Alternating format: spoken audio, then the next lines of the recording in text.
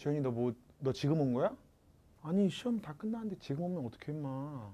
너 학교 기숙사 살잖아. 알람을 이 녀석아 네가 알아서 맞췄어야지. 10시 반이면 이 녀석아 이렇게 이른 시간도 아닌데 이 녀석아. 아니 지금 애들 좀 시험 보고 있잖아. 껐다고? 쌤 별명 솔로몬인 거 알아 몰라? 솔로몬 할 때 솔로몬인 이 녀석아. 솔로라서 솔로몬이 아니야 자 잠깐 시험 스톱. 얘들아 지금 잠깐만. 시험이 중요한 게 아니야. 선생님이 이거 잠깐 시간 더 줄 테니까 지금 내 얘기 좀 잠깐 들어볼래 얘들아? 아니 그니까 잘 들어봐. 이서 알지 이서. 이서랑 지훈이랑 같은 반이잖아. 지훈이가 9시부터 10시까지 알람을 다섯 개를 맞춰놨는데 알람을 못 들어가지고 이서가 짜증나서 그냥 끄고 잤다는 거야.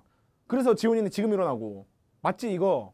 지훈아 내 얘기 맞지? 지금 배치고사가 중요한 게 아니야 얘들아. 지훈아 너 너 잘못한 거 한 게 없어 너 알람 너 올, 너가 뭐안 듣고 싶어서 안 들은 게 아니잖아. 안 들린 거잖아 자느라. 그 전날 몇 시에 잤어? 6시? 아침 6시에 자서 4시간 자면 못 들을 수도 있는 거지 그거를. 너무 피곤해서 너무 늦게 자서 그 전날에. 지훈이 알람 소리 때문에 이성가 짜증난 것도 알아. 짜증났을 수 있어. 근데 그거랑 그걸 끈 거랑 별개라고 알람을 끈 거랑은. 너네 맞을만 해서 때렸다 이거 말이 되니? 아무리 맞을만한 짓을 해도 때리는 건 그다음부터 새로운 문제라는 거야. 9시 10시부터 막 알람이 1시간 내내 울려 못 들어. 옆에 있는 사람 짜증나겠지. 짜증날지 말라는 거 아니야. 짜증날 수 있어. 근데 그거랑 알람을 끄는 거랑 별개의 문제라고. 지훈이의 핸드폰이 짜증나는 거랑 이성아 핸드폰을 꺼, 꺼서 지훈이 인생을 망친 거랑 다른 거라고. 근데 만약에 이게 지훈이의 수능 날이거나 그 원망을 어떻게 들을 건데 너네는? 조용히 해. 니나 조용히 해 내 입으로 내가 말하는데 네가 뭔 상관이야? 시험 시간인 거는 너 그럼 시험 기막에 끼고 해. 그거는 이서의 잘못이 더 크다라는 거지 나는. 너네 잘 들어 지훈이 편드는 게 아니야. 서로 서로 조심하자 이런 거에 대한 내용이고 이서가 만약에 그렇게 짜증냈으면은 야 엄지훈 엄지훈 빨리 일어나서 너 가. 알람 때문에 짜증나 죽겠어. 뭐 하는 거야 지금? 이렇게 말이라도 해줬어야지. 어떻게 사람 사는데 정이 그렇게 없이 오늘은 배치고 산 거 뻔히 알잖아. 너네가 조용히 해. 시험 시간이라고 뭐 뭔 상관이야. 이렇게 지 시험만 잘 보겠다고 이렇게 조용히 하라고 이런 애들 나는 세상에 제일 싫다고. 일려보세요. 엄마한테 다 전화할 거야 나는 엄마 없냐? 그 내가 말하는 거는 너네뿐만 아니라 요즘 전반적으로 다 그래. 다 자기밖에 몰라.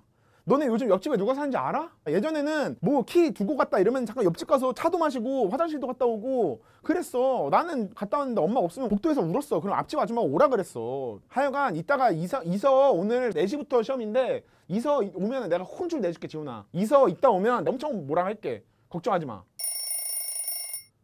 이서 너 빨리 들어와서 앉아. 이서도 오늘 지훈이랑 아침 무슨 일 있었다며? 어? 너 룸메 지훈이 지원이한테 얘기 다 들었어. 지훈이 걔 정신이 어떻게 되냐 아니야?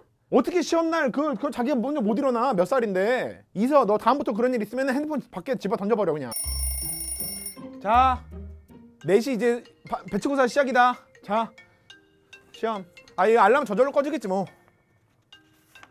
그냥 너네가 집중하면 알람 소리도 안 들리게 될 거야 이걸로 여름 특강 반 배치고사 본다. 자 이거 다음 거로 넘기고 알람 소리는 신경 쓰지 마. 알람 시끄러우면 너네가 나가. 나는 이거 알람 원래 자주 틀어놓는 사람이야. 마음이 안정돼가지고. 땅땅땅땅 따라당 땅땅땅땅땅땅. 알람 소리는 어차피 저절로 꺼질 테니까.